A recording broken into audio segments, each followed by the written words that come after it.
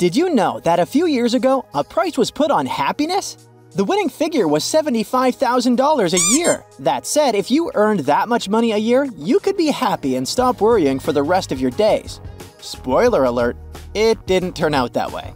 The same researchers concluded that after surpassing the $75,000 barrier, happiness no longer seemed to increase.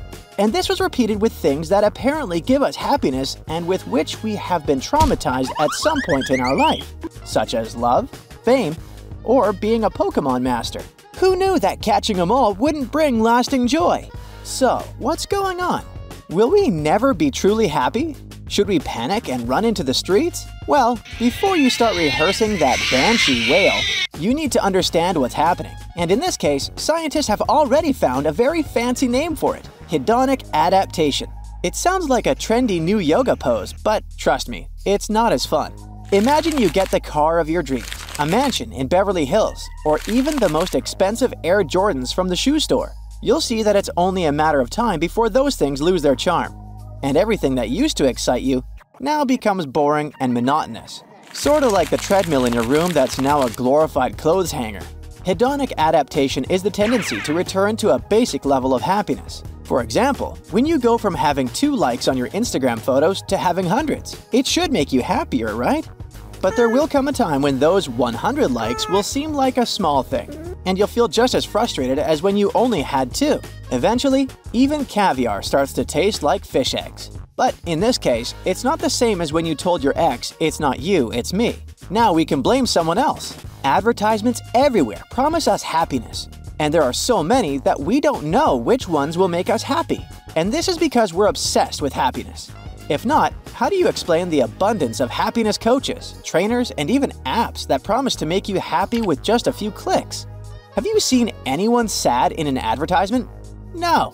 Everyone is happy and content drinking soda, eating pizzas, and even cleaning the bathroom with a smile on their face. Can you believe it?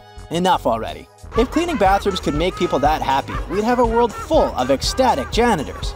For us, happiness comes when you hit the subscribe button. We get very happy and jump for joy when there's new likes. We are in a world obsessed with happiness, where even that positivity becomes toxic. And what does that mean? Let me break it down for you. Draw a rainbow filled with diverse colors just like your emotions. Now, imagine painting it all in one color.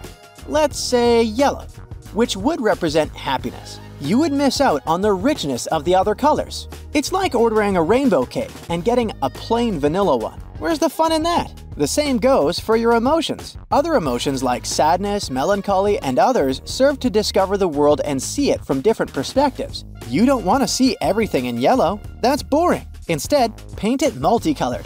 That's what our other emotions are for. And we say other because they're not negative at all. Imagine if Beethoven, Chopin, or even Taylor Swift only had written happy music. No, sadness can be beautiful too. But in reality, we're like Labradors in search of the perfect tennis ball called happiness. But which one is the real one? It's like trying to find the perfect meme to send to your friends. There's just too many options. And just like your dog, psychologists say that this desperation to obtain happiness is because we want to find it very quickly, as we live in a fast food society. If we don't get what we want quickly, like hamburgers at the drive thru we get desperate and start to stress out. But happiness is not like a Big Mac, it's more like a gourmet meal that takes time to prepare.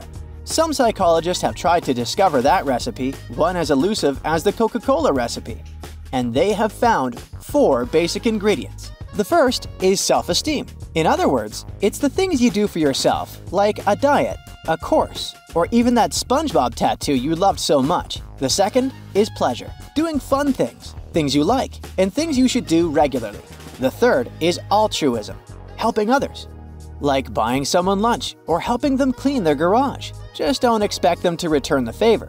That's not how altruism works. The fourth, and one of the newest, is necessity. It's the ability to use what you have to meet your needs. We already know that we all require more and more, but if we learn to live with what we have, we will be happier. It's like making a meal out of the random ingredients in your fridge. It might not be perfect, but it is satisfying. Other scientists have gone further and searched for whether happiness has something to do with genetics, so they can blame their parents. And yes, they have found a happiness gene. According to their results, people in whom this gene abounds will be happier and more resilient than those who don't have it, which helps explain how some people recover quickly from events as terrible as the breakup of the Jonas Brothers.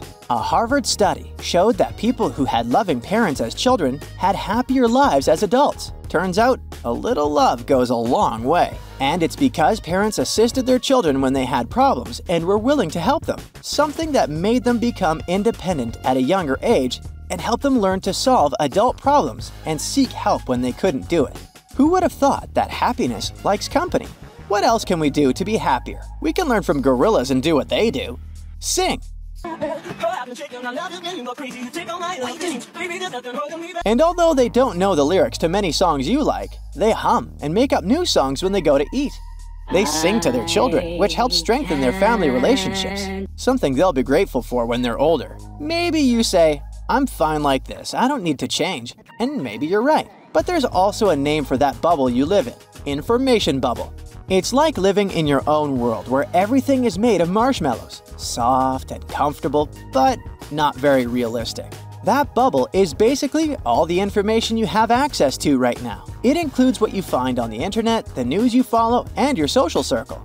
That's why when you move within it, everything seems okay because you haven't looked beyond it. Remember when Mufasa told Simba not to go to the swamps? He was protecting his son from what lay outside his bubble. Turns out, Mufasa was the original bubble wrap parent. So if I lock myself in my bubble, I'll be happier. Well, yes, but you're missing out on everything outside of it. Complete happiness is impossible to achieve, since we will always be looking for something different, like your dog when it sees a squirrel in the park. It never catches any, but as your pet knows, the fun isn't in catching them, but in the journey itself. So, dare to leave the Shire and go for a walk into Mordor. But instead of a ring, you'll be carrying your own happiness. It will be a long trip, so get three friends to tag along and pack a lot of breakfasts.